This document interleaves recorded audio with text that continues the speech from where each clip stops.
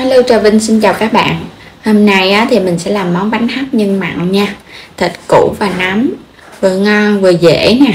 Mà mình ăn á, cùng với cái nhân thịt á Ăn thêm nước mắm nữa nó không có bị ngán.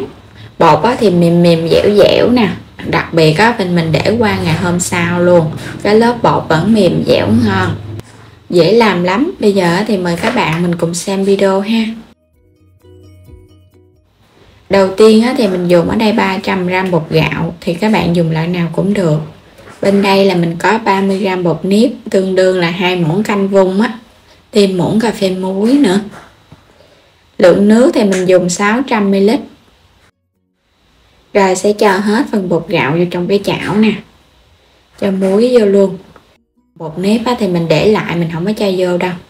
Rồi sẽ cho hết cái lượng nước vô các bạn sẽ khuấy đều cho bột này á, nó tan mịn ra. Bột bắt đầu nó tan mịn ra vậy nè. Phải cho nó tan ha chứ không thôi là nó ốc trâu á. Rồi mình để yên chút xíu cho nó nở. Quay qua đây á, thì mình có chuẩn bị củ sắn để làm nhân ha sắc hạt lựu. Cà rốt mình cũng sắc hạt lựu luôn. Sắc xong hết thì mình để qua bên một góc hành tây cũng sắc hạt lựu ra nhỏ nhỏ luôn, cho nó đều. Nấm mèo mình ngâm nước cho nó nở mềm xong rồi hạ sắc ra cho nó dễ ha. Cũng băm nhỏ nhỏ trở lại cho nó đều ngon. Phần nhân mình đã chuẩn bị xong, gồm có cà rốt, củ sắn. Bên đây thì mình có củ hành tây, nấm mèo, hành lá sắc nhỏ và một nguyên liệu chính, đó là 200 gram thịt nạc xay ra quay trở lại bột, bây giờ các bạn bắt lên trên bếp, mình để lửa nhỏ vừa ha, mình khuấy đều vậy nè, cho bột của mình nó đặt lại. Thêm vào trong bột muỗng canh dầu ăn. Rồi mình cũng khuấy đều, cho dầu ăn vô cái bột của mình nó bóng mềm, mà khi mà mình khuấy nó không có bị dính chảo nữa. Khuấy đều bắt đầu nó sẽ đặt lại à. Khuấy chút xíu để cho khói bột của mình nó đặt không còn nước nữa. Nó sẽ quyện thành khói và không có thấy cái ờ, lớp bột nước nữa là được à.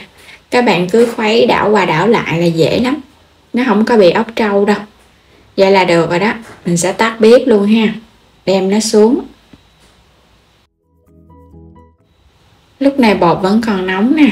Mình sẽ cho hết cái phần bột nếp vô các bạn trộn đều lên. Bột nếp này á, thì mình không có cần phải nước sôi cho nên là, là mình cho vô khi bột còn nóng là nó quyện lại à. Rồi mình đảo đều xong thì để yên chút cho nó nguội bớt.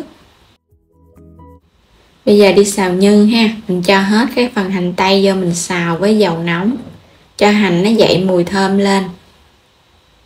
Hành bắt đầu thơm á, thì mình hãy cho thịt vô xào với lửa lớn để cho phần thịt nó săn thơm. Nó sẽ tơi rời nó không có dính chùm á. Rồi vậy là được nè ha. Phần thịt nó tơi rời nè mình cho tiếp cà rốt và củ sắn vô. Phần nhân này á, thì mình để lửa lớn cho nó đừng có bị ra nước. Các bạn cũng xào đều lên. Tiếp theo á, là cho nấm vô. Cũng xào đều ha. Phần nhân á, bánh mình còn hấp nữa cho nên không có cần phải xào cho nó chín quá đâu sẽ nêm vào đây muỗng canh đường. Muỗng cà phê hạt nêm.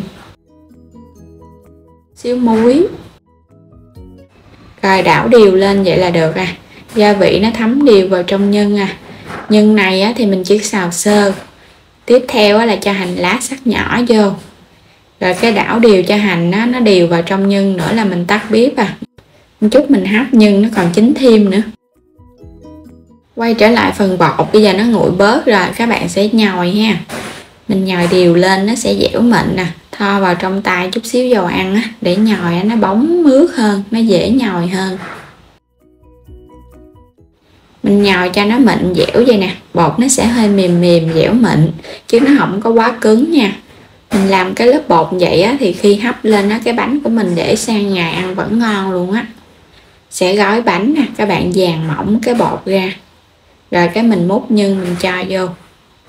Phần nhân á, mình xào cho nó khô ráo với lửa lớn thì cái bánh của mình không có bị nhão. Rồi bây giờ sẽ túm đều cái mép bột nè. Các bạn túm cho nó sát vô ha đừng có cho ló cái nhân ra bên ngoài.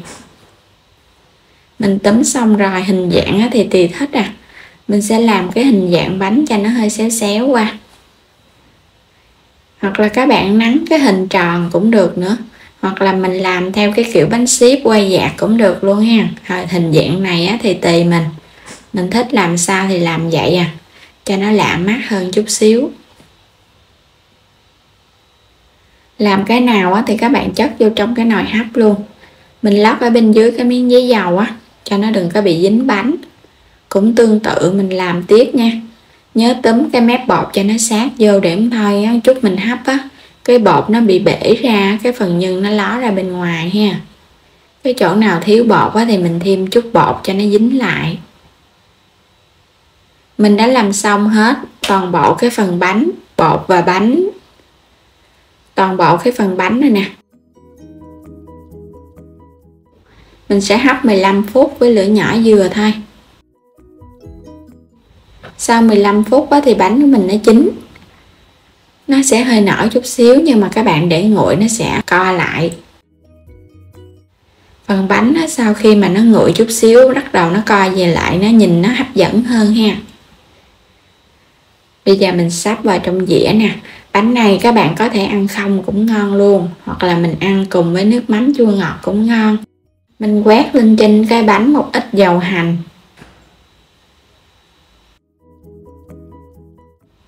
Rồi sẽ cắt bánh ra. Nhìn quá trời ngon à, nè nhân và bột cũng đều nhau nữa.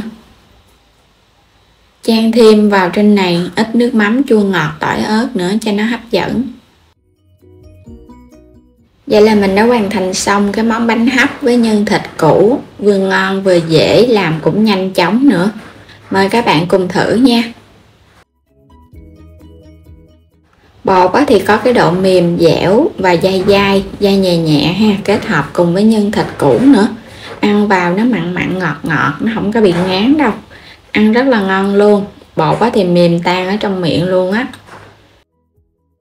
Mình thấy cái công thức này á, ăn á, dù cho người lớn hay là trẻ nhỏ gì á, cũng có thể ăn được không có sợ bị quá dai.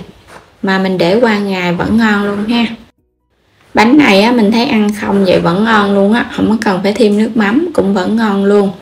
Phần nhân á mình nêm có vị mặn vị ngọt rồi trong bột cũng cho thêm chút xíu muối nữa nên nó sẽ đậm đà.